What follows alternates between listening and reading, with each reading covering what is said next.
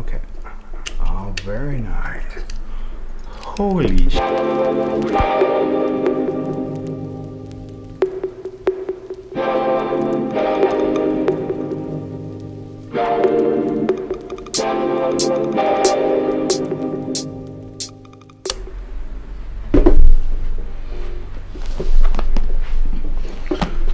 Okay, today we're doing an unboxing of the DJI RS2, the Pro Combo. So just before I open the box, this is not mine, this is from a friend of mine, uh, Emmanuel. He was generous enough to let me open this uh, on video. So this is the new Ronin from DJI. Basically, they took everything they learned from the previous generations and they made into this RS. What I'm so excited about this um, this new module is the weight capabilities and all the new features. I have the the normal Ronin, uh, which has been great. It's really strong. It does a great job. But the problem is that now I updated to the C200 camera and a gimbal that can hold the C200 would be beyond scope. That would be ideally what I actually need. What's in the box? Oh, what's in the box?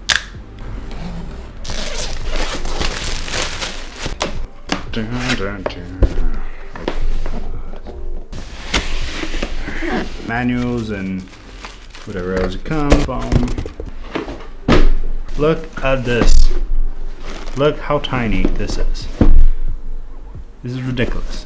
This is beyond ridiculous. Oh, it comes with a little zipper over here. It doesn't have anything here, but I see this being very useful. I really like that they made like a proper bag and a much smaller bag. This can fit into a suitcase. This can fit into possibly a backpack, or this can easily come on the side without taking much of the space. Uh, opens like that. First pouch over here, we have the focus ring, uh, DJI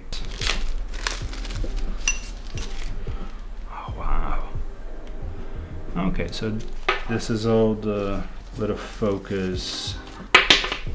Oh, there you go. Now this is exciting. This is the, the focus motor that go into your lens. One of the big things with these new uh, stabilizers is the fact that you can easily put a follow focus in there.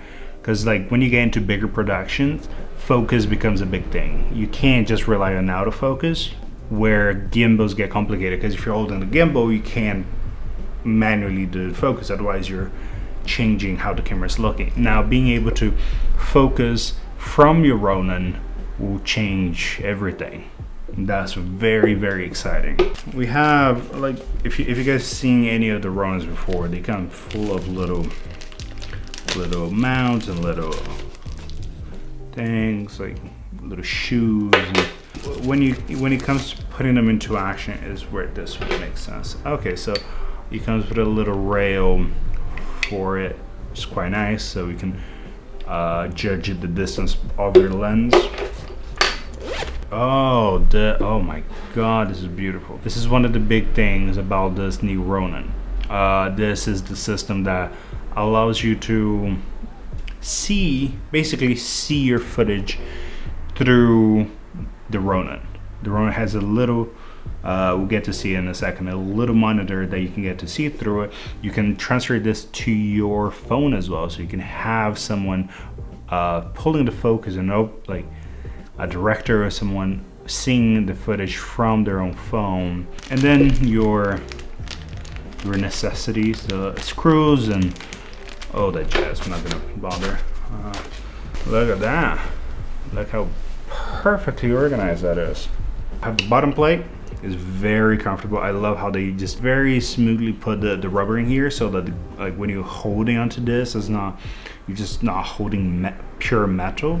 In the way it comes together in the bottom and it becomes like a very reliable shoe. I think this is something they did really well. The previous Ronin that made complete sense for them to just continue with. There's nothing wrong with this. If anything, I end up using this shoe mount for many other things. Um, as like a basic little tripod in general, just because it's such a good, reliable piece of hardware. New plate. This is one of the things that really needed improvement from the previous Ronin. Previous Ronin just had a, a normal plate. Uh, and you had to adjust it every time you took the camera out. I really like doing handhelds, so for me, be able to take the camera on and off the Ronin was always important. But the problem is every time I put it back into the Ronin, I had to rebalance. So that was always time wasted. What they did now is that they created this little, uh, this out. Uh, oh, so th there's a spare one of these. Pop this out. So the, the plate is always in the same place. You just come, pop the camera back in without any difficulties, which is incredibly, incredibly smart of them. This definitely helps and saves us a lot of time. Little phone holder, uh, you could buy these separate. DJI was smart and put it together into, I don't know if this is only in the combo kit. I don't know what comes into the normal standard one, uh, but this is definitely very useful, especially now being able to use the uh, to connect to your phone, being able to have your phone on the Ronin is very, very nice. Yeah, it does a great job, Chris. Battery, battery. Smart thing, they put the charging of the battery directly in the battery. Uh, this is something that, again, was very annoying. The previous one, because you had to connect the battery to the main body to charge the battery because there was nothing connecting to the battery. You had to basically put the Ronin together to be able to charge the battery, which was very, very annoying. I guess I don't mind changing the battery as is a better battery, but it is annoying that now the battery that I had for the other Ronin doesn't work with this one. Okay. Oh, this is the, okay, this is something they did to give you a lot of different gimbals. What they were doing is that they were creating a system where you can hold it lower. The problem with the DJI before is that for you to have it lower, either you, had, either you have to buy an external access, accessory, had to buy one of these basically, so that you could hold it or you would hold it in a very awkward position uh, what they did, they created this little system where this plugs into the Ronin, and then this bottom piece can become a side piece, so you can hold it. You can hold it in a better position, I guess. Okay, so that's it for this pouch size. Oh wow. Uh, here are all the cables you're gonna need. Not all of them, actually. This is all the cables. to be honest, these are all um, USB-Cs. I guess you oh most of the connections from the Ronin are USB-C, so these are all of them. Uh, and here you have HDMI. Yeah, a bunch of HDMIs in different sizes. And here we are. Oh. Uh, that, that, that is beautiful. I love that they went with the, the red detail. I, I feel like the red detail really makes this stand out. Pouch is over, over here. Okay, great. So this is the, the main body, right? This is where the magic is. Now here you have a little monitor. I don't know if you can see that, but there's a little monitor thing here. Uh, and what this has is this little lock mechanism where simply by pushing this down, this doesn't move. The Ronin, one of the the big issues was how it was always dangling. You're always afraid you're gonna break it. It's a pretty tough piece of gear, but at the same time, because there's so many moving pieces, you're always unsure of it. But now they created this locking mechanism, which allows the Ronin to be put into place in a very easy manner. It looks a lot more robust, and this is one of my favorite things how much weight this can handle. I really want to put this to the test with my C200. That's where my actual interest is in. I'll be properly trying this out throughout the week and next Monday I'll be putting out a video giving a proper review of this Ronin. Let's put this together. Let's see how, oh nice, a little I love when they do this because once you took it out the first time, you're never going to put it back in because why would you? That comes out, battery clicks. Oh, nice. They, they put this little leverage system over here where as you click, that locks in. Very nice, very nice. Uh, the, they have this little ring here. Which they had it on the side, but the problem with having on the side, it means that one of your hands had to be just for focus, which kind of defeats the focus of the, the gimbal. The gimbal, you you place this on the bottom. And the idea is like this is what you're holding, right? Uh, whenever you had to focus with the other one, the ring was here. Uh, now what they did that they put the focus ring on your index. So as you're holding, you're able to look at the footage either on the little monitor or on the phone on the side and being able to pull the focus. Uh, so I'm grabbing this camera just to set up the gimbal. Uh, Super 8 camera.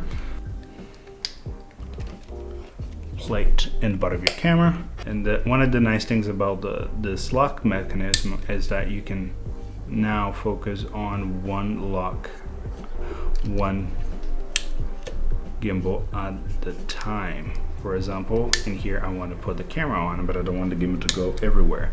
I can place the gimbal this way. Okay. Oh, very nice. Whoa. Okay. Ah. okay. Okay, there, and then you see this little knob over here what this does once you you loosen this one and then you grab this one and now you can adjust your camera by by little so if I make this one loose now uh, you see the camera's falling backwards I can pull this forward actually I'm gonna bring this down